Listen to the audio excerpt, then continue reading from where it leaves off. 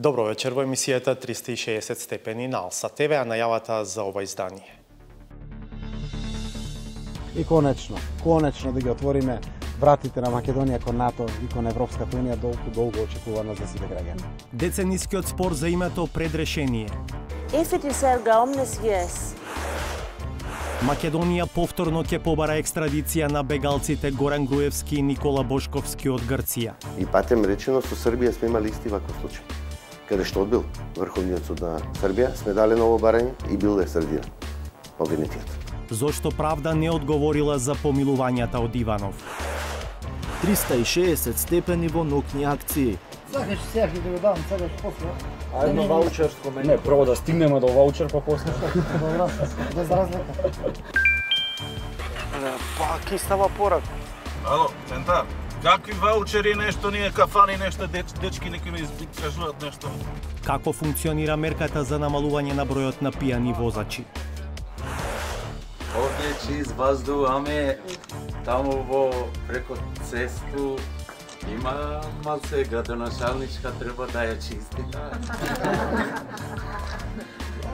Не само градоначалничката, и централната власт. Па и централна. да направи. Саботажа.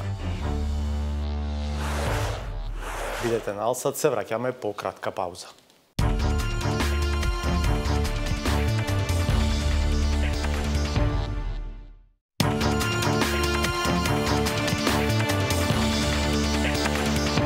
Преговорите за името се во самиот финиш. Премиерите Зоран Заев и Алексис Ципрас ги трчаат последните метри од деценискиот маратон. Иако детали не се откриваат, речи се известно е дека со решението двете страни го добиваат она на што најмногу инсистираа македонската идентитетот, грчката сложено име неверојатно Република Северна Македонија за севкупна употреба. По ратификација на договорот во македонскиот парламент, Грција ќе даде согласност за покана за НАТО и за почеток на преговори за членство во ЕУ. Владимир Мирчевски го сумира последниот развој на настаните. За Македонија идентитетот за Грција сложено име за ерга омнес употреба. Скопје и Атина го финишираат преговарачкиот процес.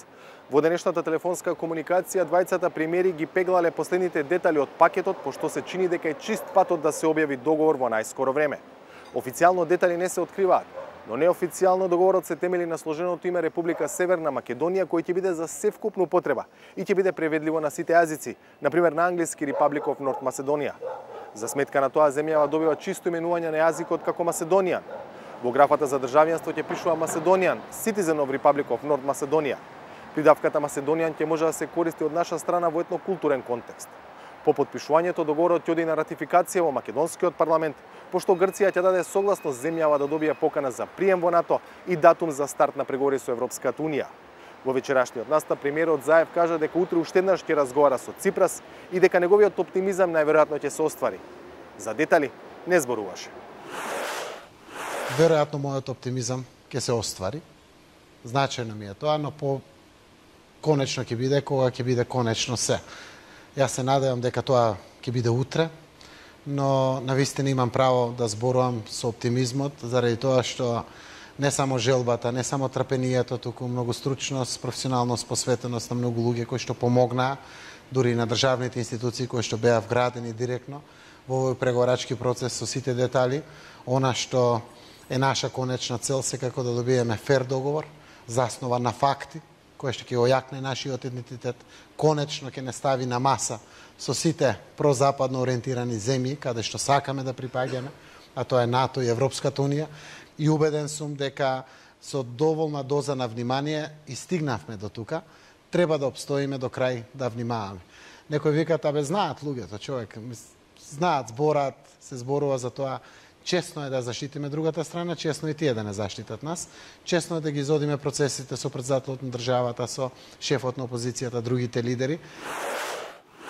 Прашањето е зошто Алексис Ципрас реши токму сега да влезе во решавање на 25 годишниот спор и дали тоа дополнително не му комплицира ситуацијата на домашната политичка сцена зашто заостанува во рейтингот за опозицијската нова демократија.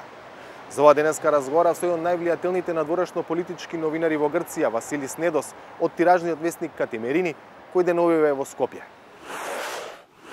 Mainly it's about timing And uh, I don't know about Syriza uh, so much, but quite probably uh, Alexis Tsipras, the prime minister, wants to boost his uh, image as a leader on uh, delivering a solution on an issue that uh, uh, is there for the last uh, 26, 27 years.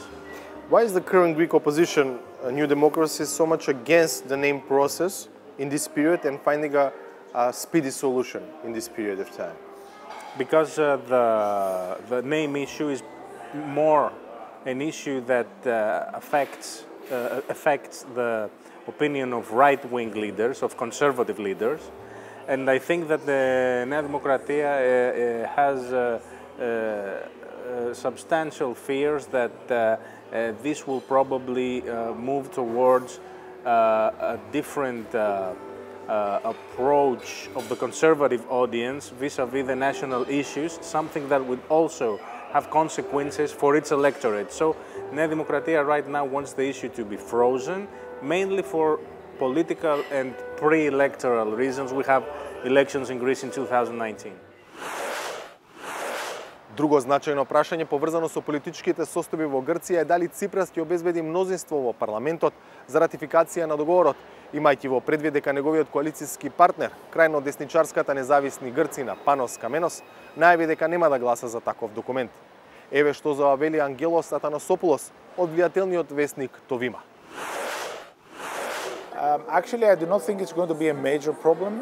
Um, the Greek constitution allows uh, to pass this kind of international agreement and treaties uh, not with a very high majority. But I think that what the government would like, because what we know now is that the, the Independent Greeks Party, which is the junior coalition partner, will not support. Uh, Syriza holds now 145 seats in the parliament, so I think that it's not going to be so difficult for them maybe to, five, to find the five or six votes. But no matter that, uh, the problem will be that the main opposition party will accuse the government of not having a majority to continue to govern. So this is what actually complicates things. It's one thing, the government majority, it's another thing, the agreement majority to pass a solution through. Where do you see possible obstacles in implementing the agreement, seeing from the Greek side? I think that the main trade-off for the Greek side was how to secure the erga omnes implementation. Uh, so um, my sense, not that I have full information, is that there's a trade-off between uh, identity and language on your side and erga omnes from our side. This is, I think, the major, um, the major trade-off which is taking place. Um, then what is also important is the timeline after we reach an agreement, how uh, we're going to actually ratify the agreements, how we're going to approach NATO and the EU. This is good, going to be really complicated. It needs to be very carefully crafted. And between you and me, I think that this was the main, one of the main obstacles that uh, the phone call of Prime Minister Zaev to Prime Minister Tsipras took so long because both sides were trying to find the best way out of this problem. Марилена Копа, која во два мандата беше европратеничка, инаку долги години блиска соработничка на Јоргос Папандреу и директно инволвирана во обидите за решавање на спорот, смета дека веќе има мнозинство во грчкиот парламент за ратификување на договорот. Do you think that solution based on erga omnes name will go through in the, in the Greek parliament? If it is erga omnes, yes. Uh, because what we need is a name that really can solve permanently this dispute. And we want a name that is valuable inside the country and outside in the country for all relations. So I think uh, if uh, our informations are correct and there is an agreement on that, I think this, is, this can be a win-win solution. Uh, the government, I mean the biggest ruling party, Syriza, when we exclude Panos Kamenos MPs, uh, does not have enough votes to pass this agreement in the parliament. Where do you see the possible yes votes uh, concerning the possible agreement in these circumstances in the, in the Greek parliament? Uh, I think that many deputies from center left uh, will vote. Many of them have already declared, as uh, Stavros Todorakis from Potami and other people, that they will support uh, an agreement if it has all the conditions we mentioned, if it's ergoms.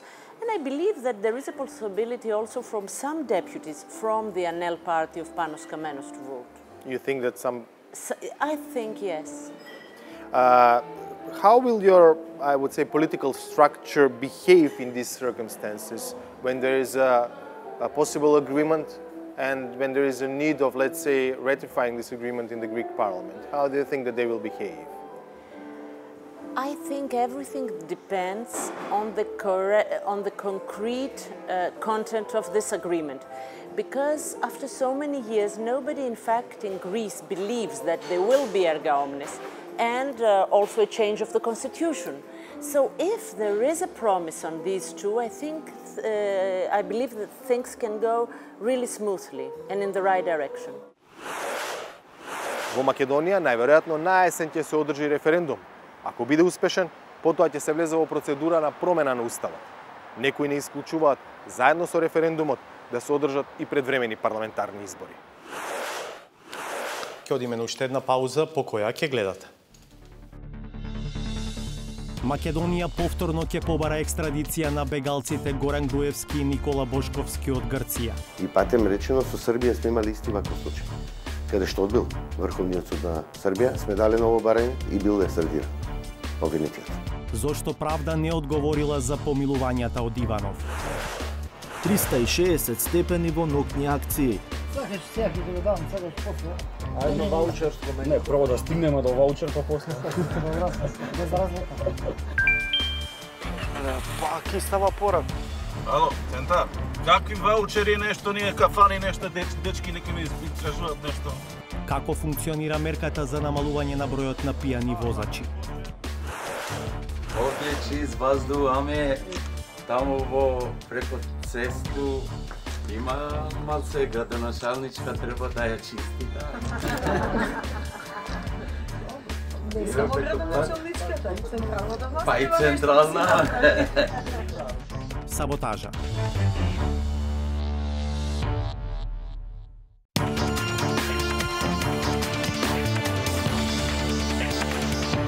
Министерството за правда речи си сигурно ќе поднесе ново барање за екстрадиција за Горан Груевски и Никола Бошковски, откако првото беше одбиено од Грчкиот Врховен суд.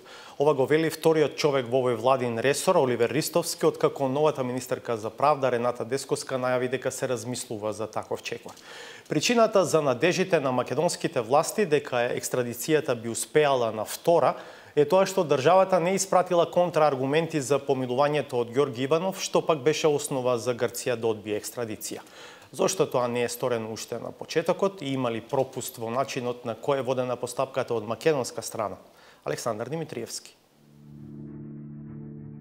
Кога Грчкиот Врховен суд одлучи да не ги екстрадира бегалците Горан Груевски и Никола Бошковски затоа што еднаш биле помилувани, Судиите во Атина пред себе немале допис или објаснување за актот на председателот Ѓорге Иванов доставен од Македонското Министерство за правда. Заменик министерот Оливер Ристовски за 360 степени открива каква документација е испратена во Грција и што дополнително е побарано од тамошните власти.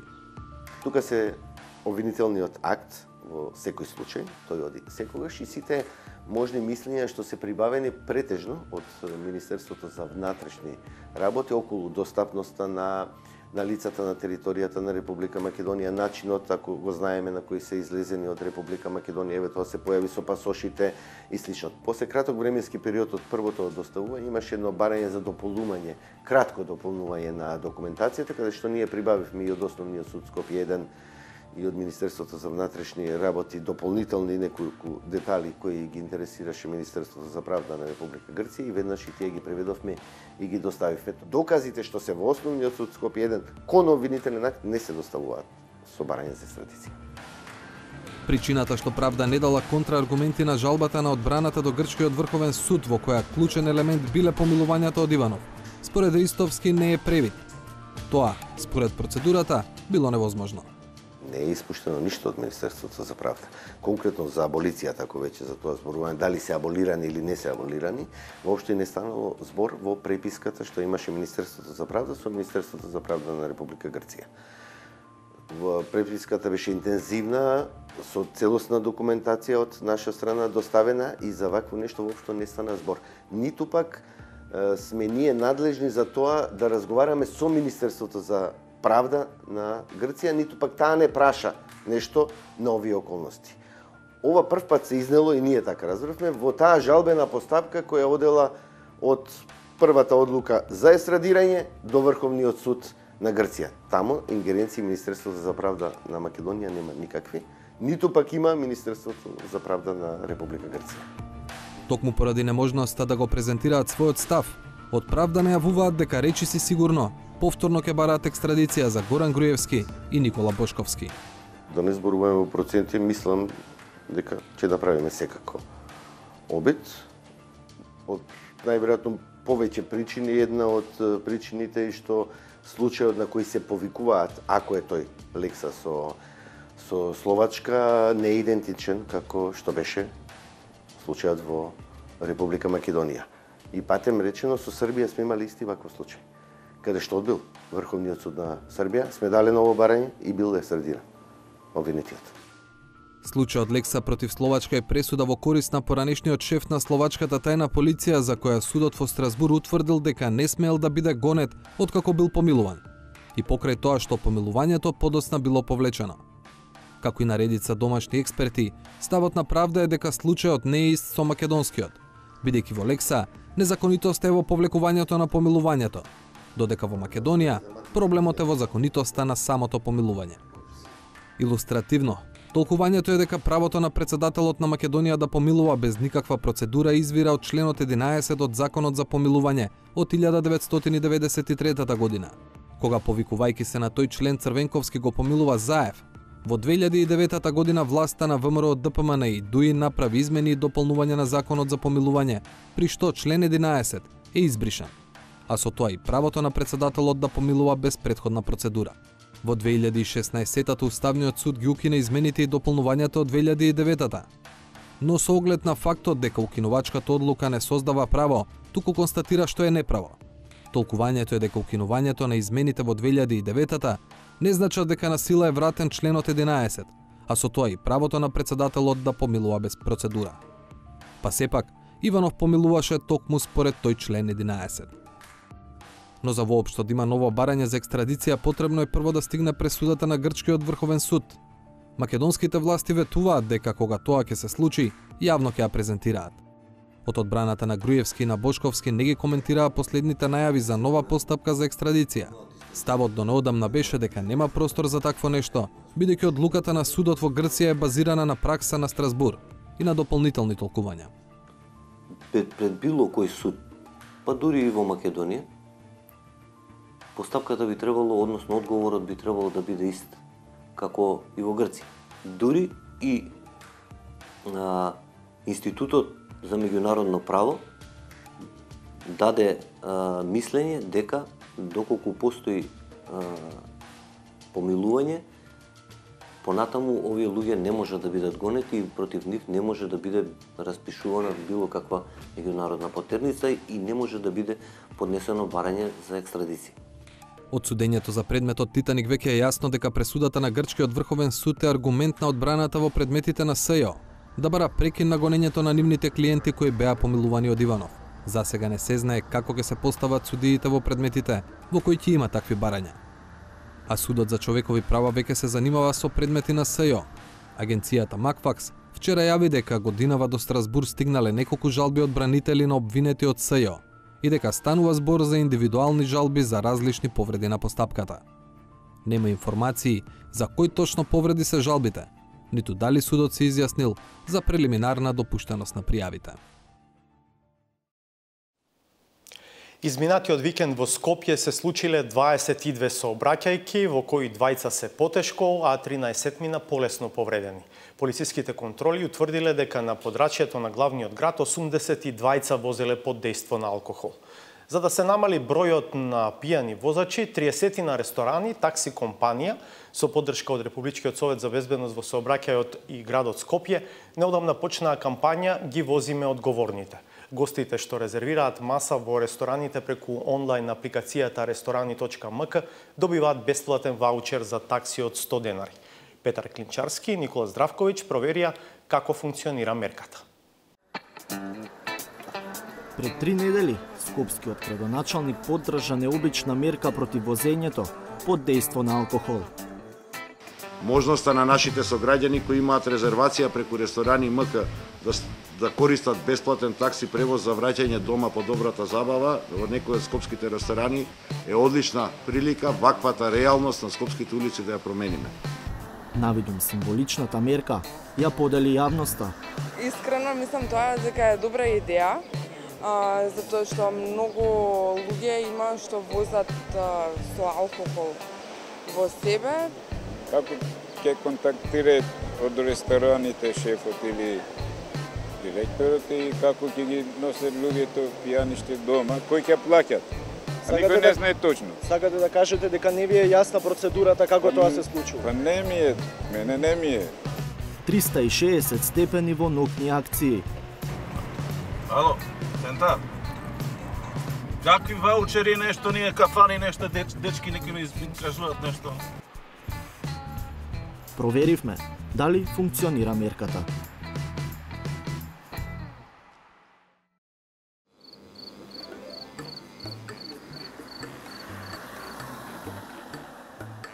Вечер без обврски е измислена за посета на кафеана, но за да се добие субвенцијата од 100 денари која треба да помогне уживањето да не се претвори во нечи ужас, патот почнува во виртуелниот простор. Првиот услов да се добие ваучер е успешна резервација на интернет страницата ресторани.мк. Нам брзо ни се посреки.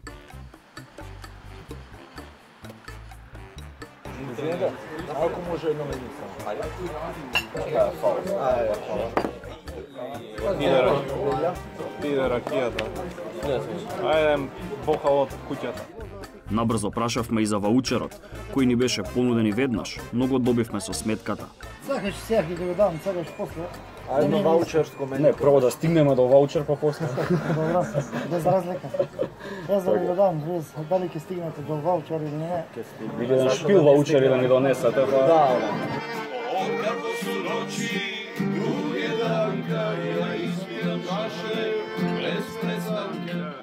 Најадени, напиени и со подмирена сметка, побаравме инструкции од домакините. Да прашам ова како функционира со ваучерот? Па замислете со некоја такси компанија, ние викаме или како? Како иде све ова? Пошто прв пат нарачувам преку ваучери, малци и ние са не сме не сме сигурни. Само преку интернет. Така? Пошто ние резервиравме кај вас преку интернет, ама са не знаеме со ваучеров како Која такси компанија? како да го искористиме. Треба ова што е тука позади, аха, значи ова што е наведена таа ја бараме. Следниот шекор беше самите да си побараме возило од единствената такси компанија со која можевме да го искористиме нашиот ваучер. Ако може на кола... Да. Океј, фала. И токму на крајот, работата запна. Се јавив, меѓутоа ми рековте дека немате возило во моментот, меѓутоа ние сме со ваучер. Па, ки става порак. Но по неколку за наведени минути ни стигна првичната порака дека слободно возило нема, што значи дека во пракса ова услуга баш и не функционира онака како што е замислена.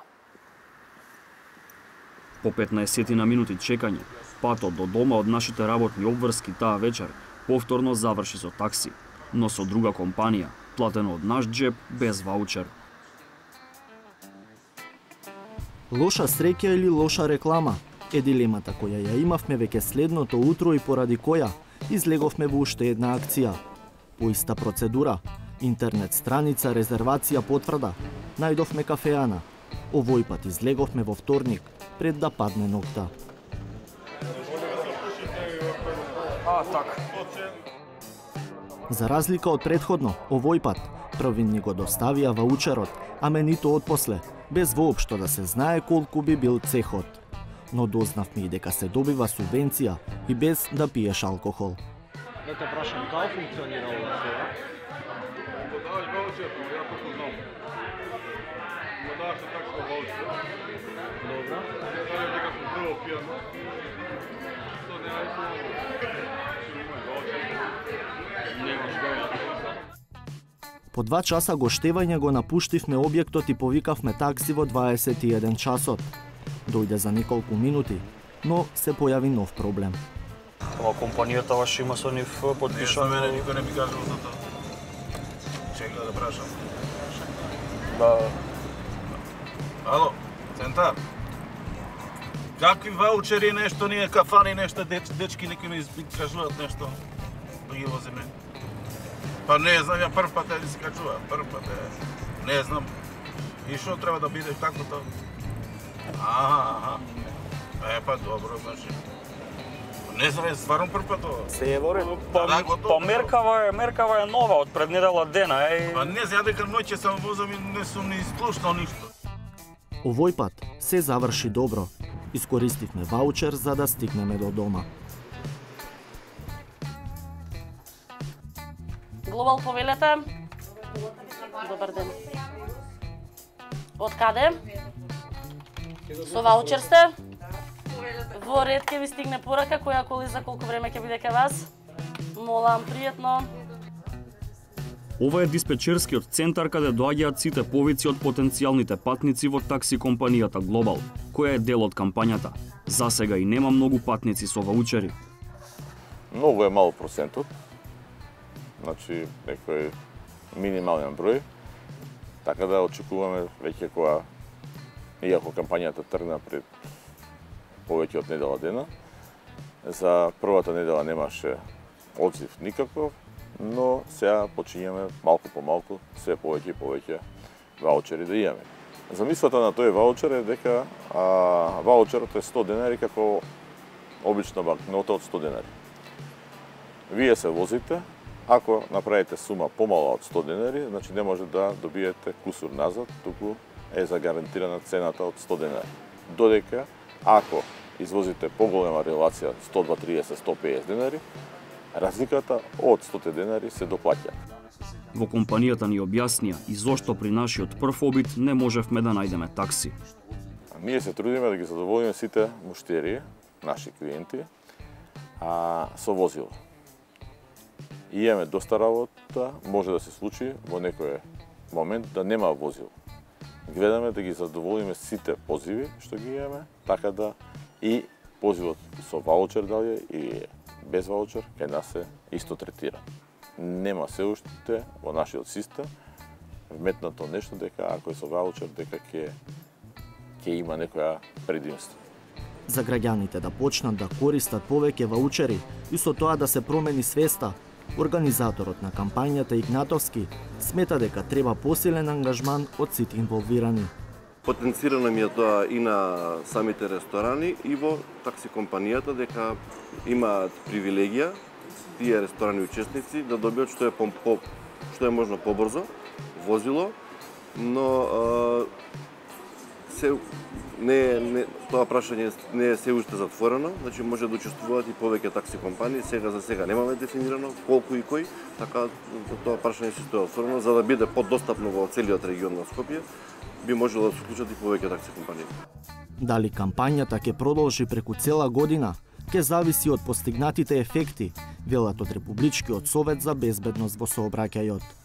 Целта беше всушност да се стимулираат граѓаните, тие кои што ќе бидат присутни по гостителските објекти, да, на, на, да не патуваат со собствено возило, туку да користат јавен превоз. Провањето на моторно возило под дејство на алкохол е еден од клучните фактори кои што ја загрозува безбедноста во сообраќајот. Статистичките податоци од Министерството за внатрешни работи покажуваат дека за само едно денонотие повеќе од 1000 возачи се санкционирани за управување на моторно возило под дејство на алкохол, а анкетата која што ја спроведе Републичкиот совет во изминатите години покажа дека повеќе од 85% од возачите изјавиле дека некогаш управувале моторно возило под дејство на алкохол. До овој момент, оваа кампања се плаќа од буџетот на кафеаните и попустот на таксистите, а не од джебот на граѓаните, а само од паричник се плаќаат казните за возење под дејство на алкохол.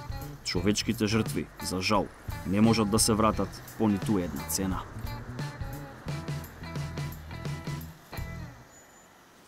Наред уште една пауза по која е саботажата. Бидете насад.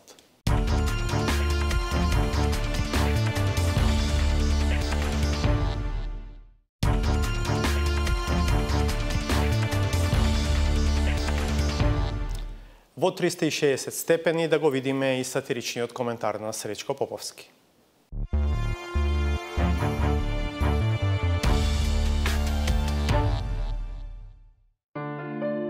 Откако беше решено се, се стаса до потребата за достигнување на највисоките европски стандарди при добивање на лиценца за убивање. Наспроти хуманата димензија утврдена со досегашниот начин на спроведување на испитот. Дипломата за стекнување со вештина за убивање животни. Ловджиите од сега ќе може да ја добиваат на вистинскиот начин, со покажување на крвта на отстреланите. Замислите се полагаше практично електронски. Тоа не знам дека го имам во која држава. Само оние што го знаат ова знаење, знаат во која тоа држава вака се полага. Но веројатно во ниту една универзитетски професор не се станува без диплома. Македонија е еден од ретките примери каде академската титула не зависи од тоа дали е заслужена и стекната со научни трудови, оти за да се учат студенти. Доволно е да се биде моќник и финансиер од партијата на власт. Тоа само по себе значи и професор. Актуелниот градоначал Рамис Мерко има докторска докторски труд, докторска диплома добиена од Нови Пазар, кој што е не е, не акредитирана, односно не нострифицирана, и си ја добива наставно научно звање. Значи, доцент, а згора на тоа е, и вореден професор. За вакво однесување е потребна воредна чистка, но таа не е можна затоа што не се спроведува ниту редовната. На собраното ѓубре, а неубавината станува доминантна сила, по која наместо да се срамат, префрлувајќи си ја одговорноста пред донаторите, горделиво си ја споделуваат локалните и владините функционери. Убаво место. Овде чист воздух, аме таму во преко цесту има малце градоначалничка треба да ја чисти таа. Не само градоначалничката, и централната власт. Па и централна. да Се всушност зависи од небото и неговата милост, оти на земјата владеат некои чудни правила.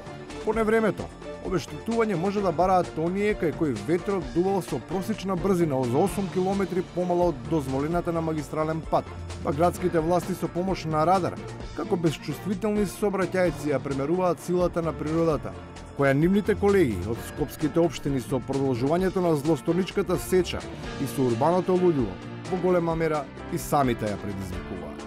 По 72 штетата ја надомесува јавните предпријатија.